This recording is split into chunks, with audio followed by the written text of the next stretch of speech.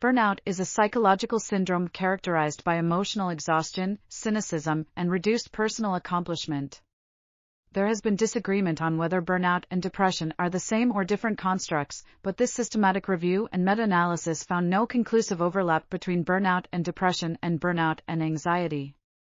The results showed a significant association between burnout and depression, R equals 0.520, and burnout and anxiety, R equals 0.460. However, moderation analysis revealed that studies using the MBI test or rated as having better quality showed lower effect sizes.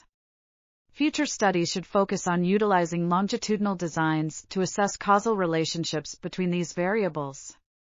This article was authored by Panagiota Koutsimani, Anthony Montgomery, and Katerina Georganta. We are RTCL.TV, links in the description below.